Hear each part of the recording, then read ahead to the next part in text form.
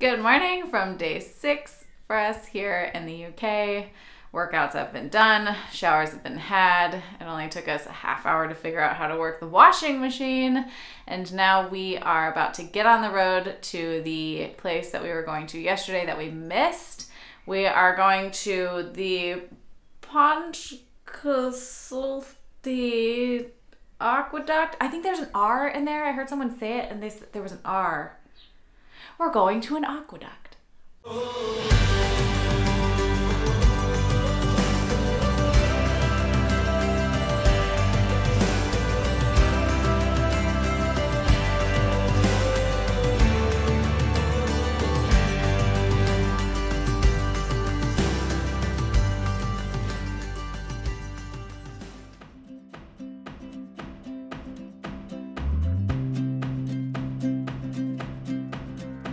You're my sunshine every morning, light up every moment, make my every dream come true.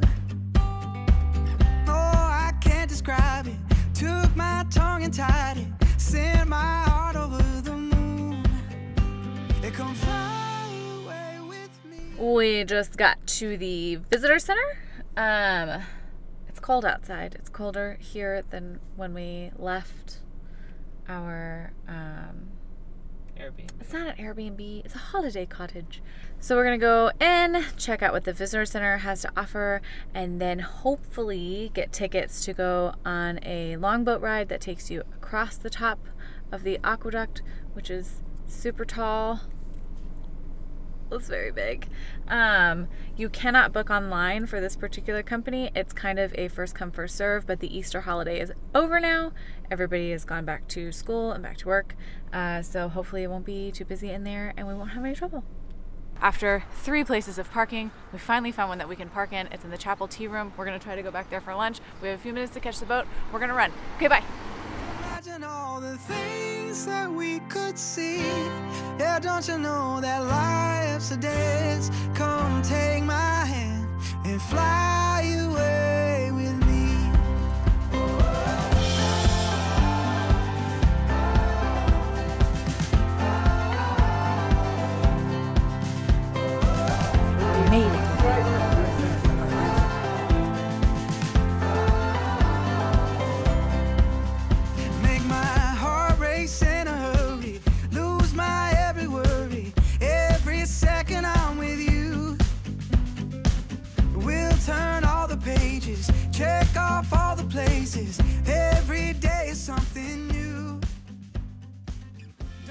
If you're feeling brave, you're more than welcome to stand by the hatches at the back, but if you do so, we just ask that you're cautious, as we will be working in some narrow conditions, and we'd like to say that you can take all of your body parts on with you. So please make sure you keep your heads, hands, and any of the limbs firmly within the confines of the boat at all times.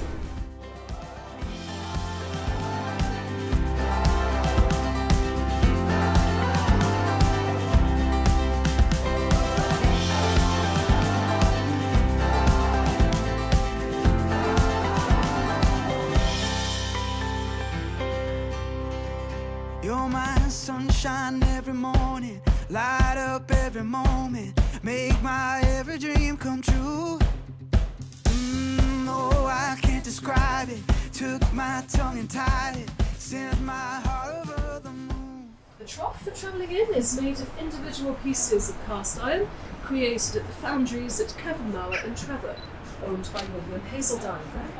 The pieces were brought up here, bolted together, and then made watertight with a gasket of Welsh flannel dipped in boiling sugar, which was then finished off with lead.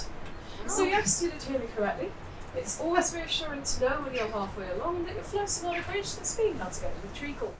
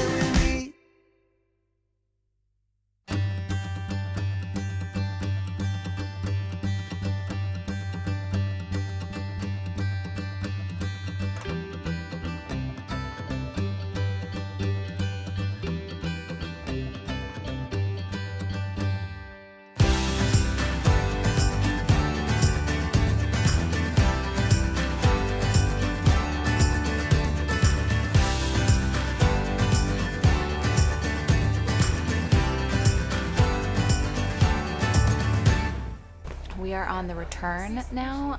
Uh, the actual trip across doesn't take very long, maybe only like 10 minutes. But the key is waiting your turn to go back. We're currently stopped because there's people coming over on canoes. There's only enough space for one boat to go at a time. So that's why they say approximately 45 minutes because it could take longer for the return trip. Um, I think it's totally worth it. I think it was what 10 pounds, um, 10 pounds a piece for adults, but it's really cool. It's really unique. I think it's such a a different thing to do. Definitely worth it in my opinion.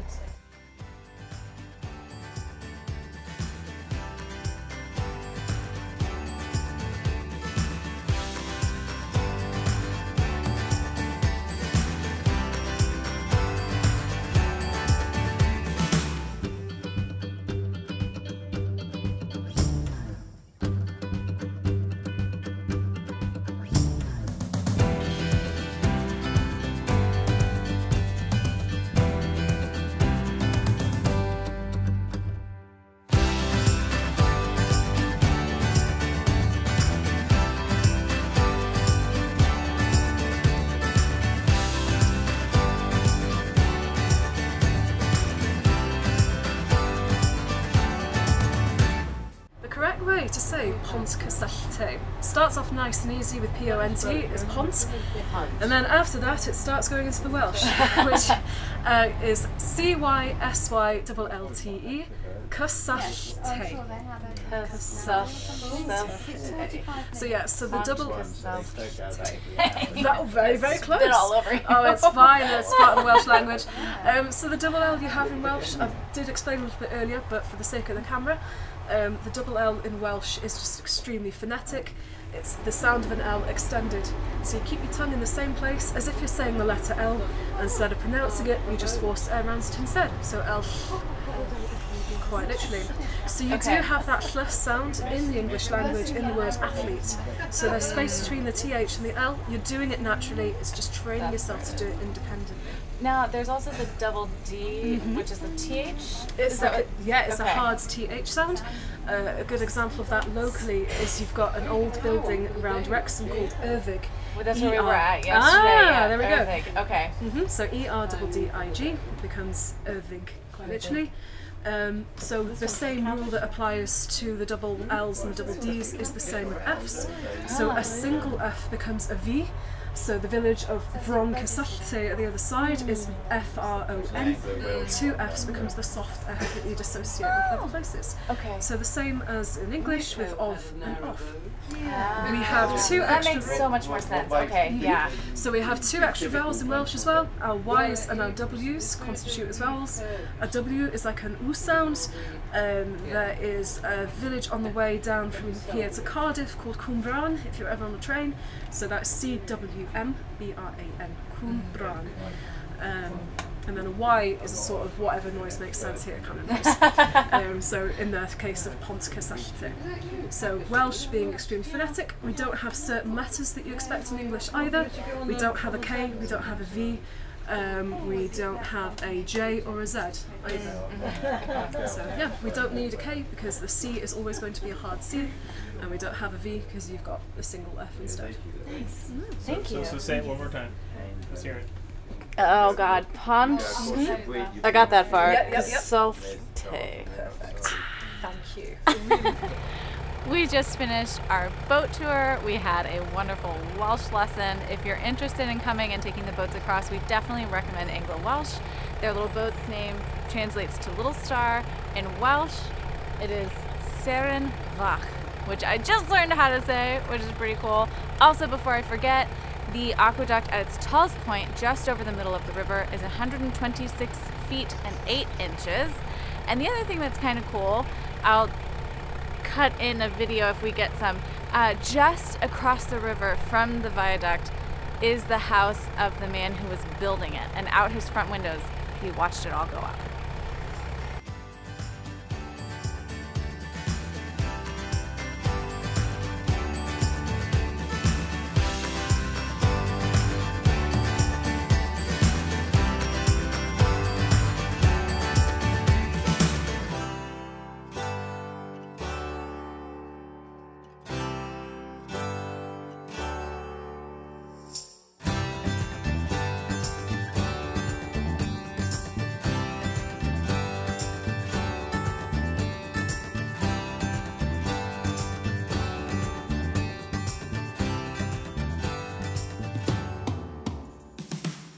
We're smack in the middle now. There is a handle that once every 10 years they block off both sides of the aqueduct. They pull the plug, all of the water drains back out into the river, and then they come in and do maintenance and clean it and everything. Pretty cool. There's a picture in the gift shop. I'll pop it in.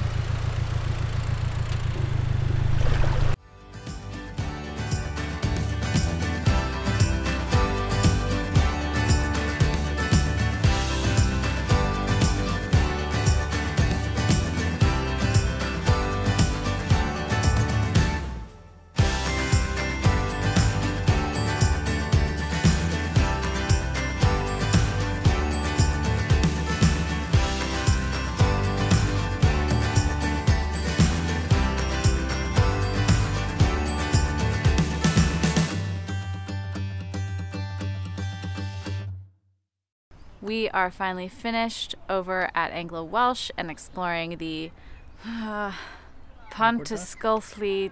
I don't know, maybe that was close. Aqueduct. Uh, we're now at the Chapel Cafe. We're going to grab some food. Park next to the Chapel Cafe. It's two pounds. If you eat there and you spend more than five pounds, you get that back. So uh, this is really kind of the best place to park. There isn't really anywhere else that we could find. Put Chapel Cafe into your GPS. Come here, park here. The narrow boats are literally right across the street with the aqueduct and the visitor center and all of that.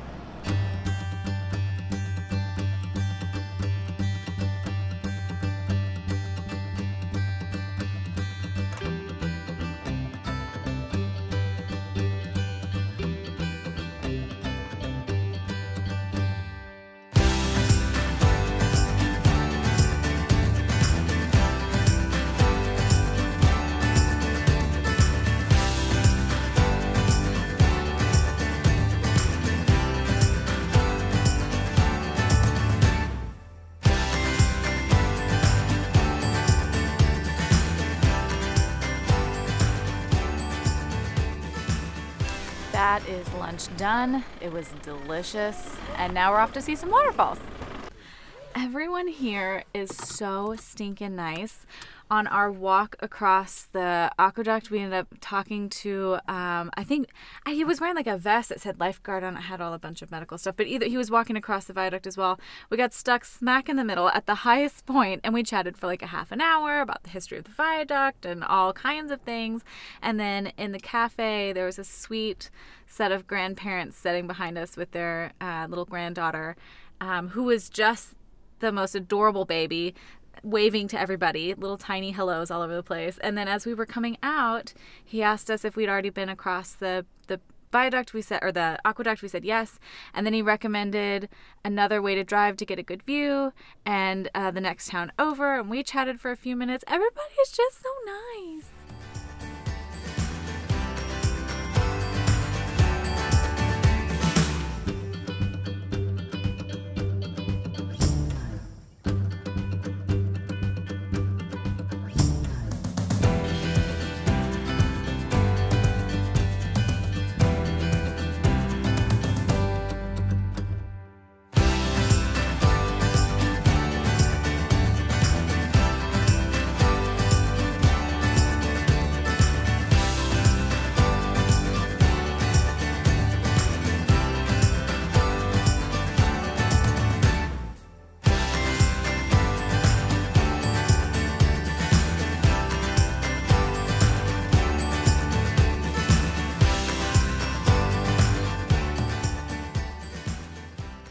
just wanted to pop in and let you know that we're to break this day into two vlogs. Uh, we thought we'd be able to cram it into one, but it'll be really, really long, and I don't think it would do either location justice.